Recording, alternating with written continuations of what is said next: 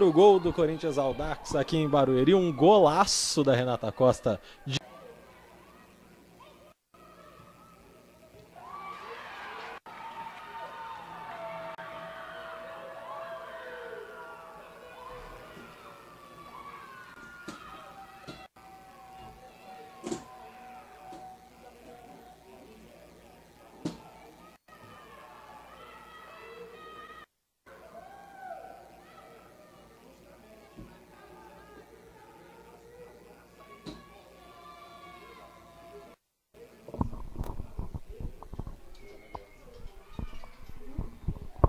Tá aí o segundo gol do Corinthians Aldax aqui em Barueri, 21.